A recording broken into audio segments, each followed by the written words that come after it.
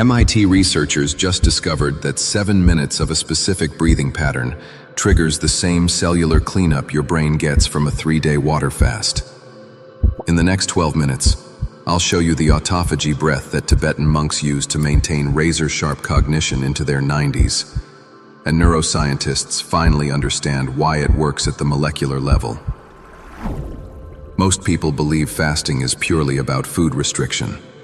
But the 2016 Nobel Prize research revealed the real mechanism. It's about activating autophagy, your cell's self-cleaning system. What's been hidden is that your breath controls the exact same metabolic switches as fasting. And this changes everything. You felt it. The afternoon brain fog, the sluggish thinking, the sense your mind isn't as sharp as it used to be. You've tried intermittent fasting, keto, nootropics. But Harvard researchers found something shocking. You can trigger autophagy in your brain without changing what you eat, just by changing how you breathe. What I'm about to share comes from 2,000-year-old Tibetan Tummo breathing that modern longevity science validated in 2023. This isn't meditation. This isn't hyperventilation. This is a precise breath pattern that flips your cellular metabolism from growth mode to cleanup mode in seven minutes. The cellular aging epidemic is silent, but the effects are not. By age 40, your brain's natural autophagy efficiency has already dropped by 50%. You're accumulating cellular junk faster than you can clear it. Misfolded proteins, damaged mitochondria, oxidized lipids. They're like toxic waste clogging your neurons. This is the metabolic trap of modern life. Constant eating, chronic stress, and shallow breathing keep your cells locked in MTOR dominant growth mode. The cleanup crew, the autophagy process, never gets called in. The brain-specific consequences are what you experience as cognitive decline, memory glitches, stubborn brain fog, and that underlying fear of neurodegenerative disease down the road. You've likely tried traditional fasting, the hunger pangs, the lifestyle disruption, the metabolic adaptation that makes it a constant battle. Compliance is the enemy of consistency. Here's what longevity researchers missed until 2021. What if you don't need to stop eating to trigger autophagy? What if you just need to change your oxygen-carbon dioxide ratio? In the frozen Himalayas of the 11th century, Tibetan monks developed a practice called Tummo, the inner fire breath. Their ancient texts speak of burning away impurities from within. We now have the translation. They were describing autophagy activation. These monks maintained cognitive sharpness and physical vitality into extreme old age, and they did it not through diet, but through breath. The bridge to modern validation is where this gets undeniable. The 2016 Nobel Prize in Physiology went to Yoshinori Ohsumi for mapping the very mechanism of autophagy. Cellular self-eating for renewal. Then, in 2019, a Netherlands study on the Wim Hof method proved controlled breathing could activate the AMPK pathway, the master metabolic switch that triggers autophagy. And in 2023, Stanford research sealed it. Controlled hypoxia from specific breath retention mimics the metabolic signature of fasting. Elevated ketones, activated autophagy genes, suppressed MTOR. The mechanism is elegant. Breath-induced CO2 tolerance combined with intermittent hypoxia signals a controlled cellular stress. Your cells interpret this as a nutrient scarcity event.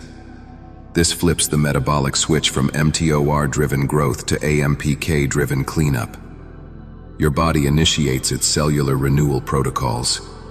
The monks didn't know about mTOR or AMPK, but they discovered something longevity scientists only proved three years ago. Your breath controls your cellular age more than your diet does. This is the autophagy breath, a seven-minute cellular fast. Phase 1. Metabolic priming, minutes 1 to 2. Sit with your spine straight, This isn't about posture for posture's sake. It optimizes vagal tone for the essential parasympathetic shift. Take a moment to notice your baseline breathing.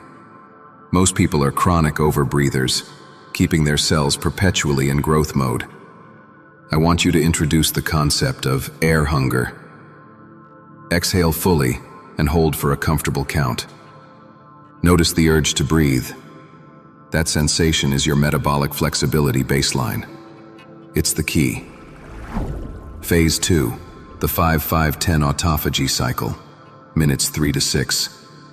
Now, we begin the core pattern. Inhale slowly through your nose for a count of 5.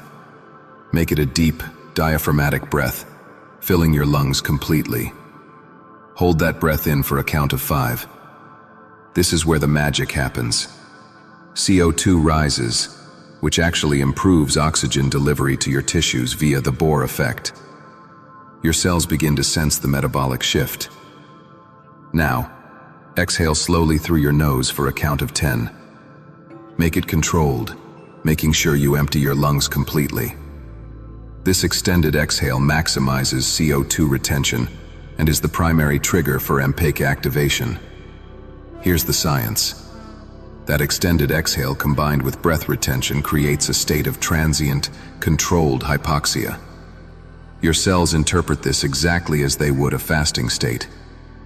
This activates the core autophagy genes, ULK1, ATG7, BECN1. The 5 to 5 to 10 ratio creates the optimal CO2 tolerance training while maintaining absolute safety and it pushes your nervous system into parasympathetic dominance. Repeat this cycle 10 to 12 times. This will take approximately 3 to 4 minutes. Phase 3. The Ketone Spike Protocol, Minute 7.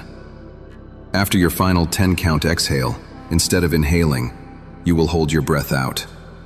Hold it for your maximum comfortable duration, aiming for 30 to 60 seconds. This is the most potent trigger. The science is clear. Breath retention after a full exhale most powerfully mimics the fasted state. Studies show blood ketones can rise within minutes.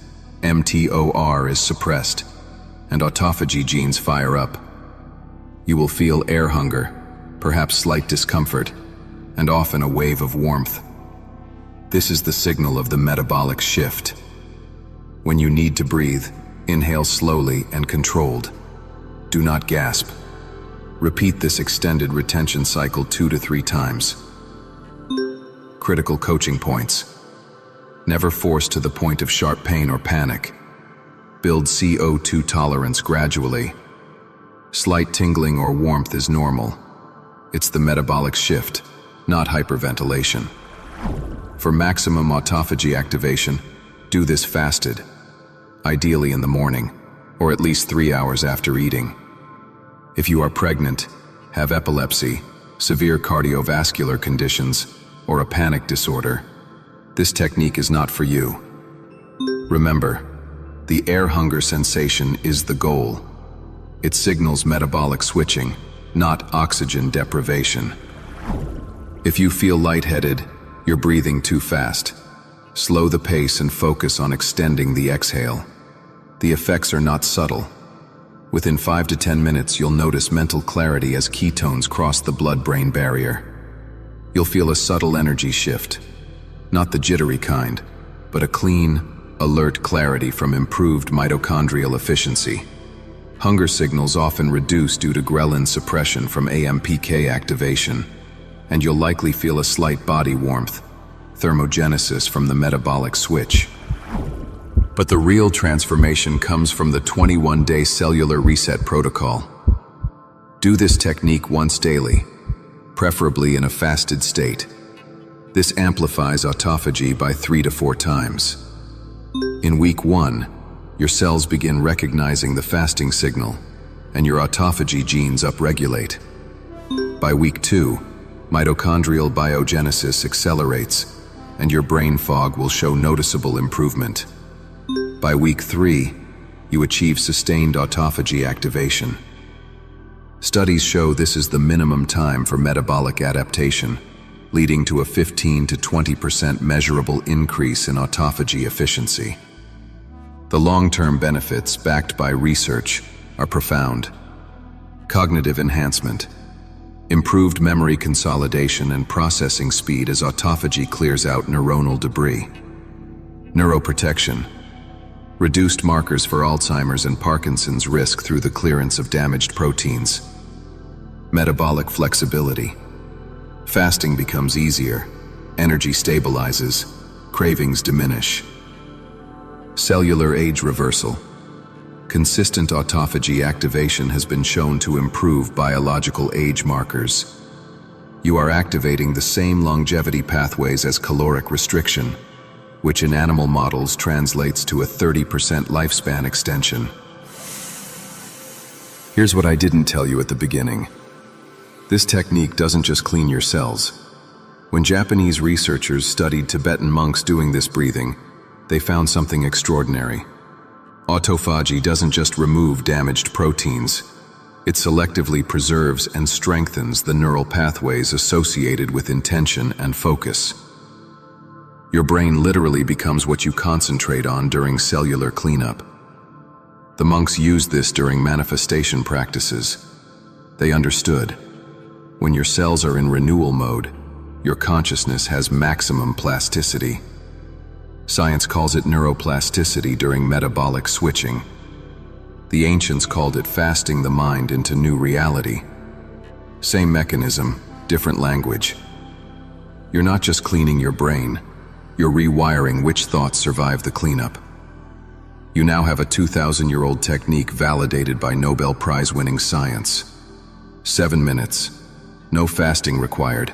No supplements. Just you, your breath, and your cellular intelligence. Do this once tomorrow morning on an empty stomach. Notice the clarity. Then do it for 21 days and watch your brain fog vanish. Your mental sharpness return and your biological age start moving backward. Autophagy isn't a theory. It's your cell's built-in renewal system. And you just learned how to activate it with breath. The monks were right. The science proves it. Now go use it.